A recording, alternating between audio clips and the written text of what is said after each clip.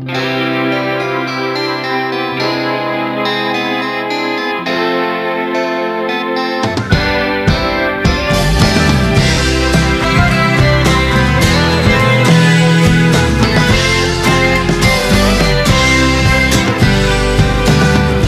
と僕たちが想像した未来は幼い頃見つけた石ころみたいに丸っこくて変な傷跡なんかもなくてさ平和っていう感じの通りなんだって思っていた。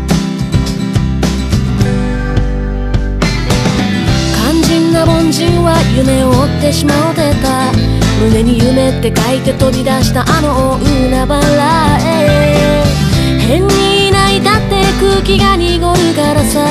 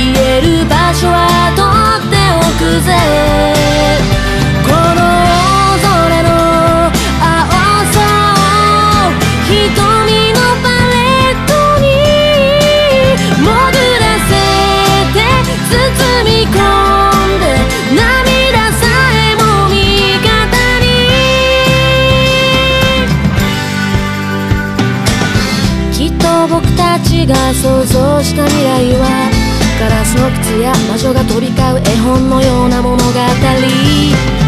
変な理由もなくそう信じていたんだ。Hey baby なんておどけて笑い汗かいて大人になった。